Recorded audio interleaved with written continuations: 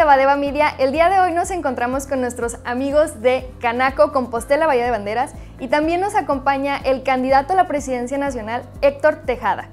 Hola, ¿cómo están? Bien, bien, ¿cómo estás? Tenemos con nosotros al presidente entrante de Canaco, Compostela, Bahía de Banderas, Héctor Ventura, por favor. ¿Qué tal, Mar? ¿Cómo estás? Estamos hoy por hoy iniciando, eh, iniciando labores y junto con eso apoyando a Héctor quien es nuestro líder y será nuestro futuro presidente de Concanaco. Conmigo también me acompaña Teresita, que es consejera. Como parte de la Cámara de Comercio, de verdad que sabemos y conocemos todas y cada una de las acciones que se tienen que tomar en torno al trabajo que debe de realizar un presidente. Héctor, cuéntanos, ¿qué tienes para nosotros en este futuro para aquí? Maro, pues antes que nada, muchas gracias por el espacio. La Concanaco Servitur es el organismo más vertebrado de nuestro país. Es el organismo empresarial que se compone por 257 cámaras. Y a la vez estas cámaras cuentan con más de 600 delegaciones. Eso significa que estamos en alrededor de 900 ciudades de nuestro país. Nuestro organismo representa el sector terciario, el comercio, los servicios y el turismo. Y representamos cerca del 60% del Producto Interno Bruto. Nosotros representamos más del 50% del empleo formal. ¿Qué viene con Canaco? Cuéntenos.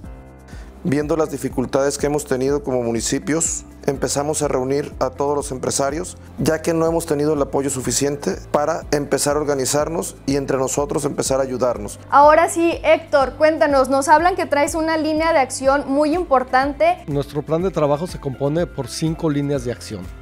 Y la primera línea de acción se llama escuchar para actuar. Esto significa que yo no seré un presidente de ocurrencias. Y me he dado la tarea en esta campaña de estar yendo a visitar las cámaras de todo el país. Otra de estas líneas es la digitalización de nuestras empresas, el comercio en línea. La verdad es que la mayor parte de las empresas mexicanas no tienen esa digitalización de sus, de, sus comercios, de sus empresas o de sus servicios. Entonces nosotros estamos dispuestos desde la Concanaco Servitur y lo vamos a hacer a llevar de la mano a todas las empresas de nuestro país por medio de sus presidentes para que esta digitalización se haga una realidad. Otro de los puntos es el fortalecimiento de las empresas, con capacitación para los empresarios, con capacitación para sus colaboradores. El cuarto punto es el fortalecimiento institucional. Nuestras instituciones son centenarias, la mayor parte. Estas son instituciones que están probadas y que han venido funcionando a lo largo del tiempo.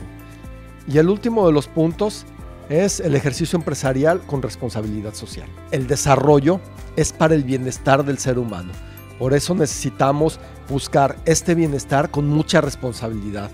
De verdad, muchísimas gracias por esto. ¿Algo más que les gustaría agregar? Tenemos que ayudarnos. Somos un solo grupo y estamos pertenecemos a dos municipios. El tema es seguir ayudándonos, convergiendo, haciendo networking y dándonos la mano los empresarios entre nosotros mientras entran las nuevas autoridades que esperamos tengamos bastante apoyo. Muchísimas gracias por este espacio.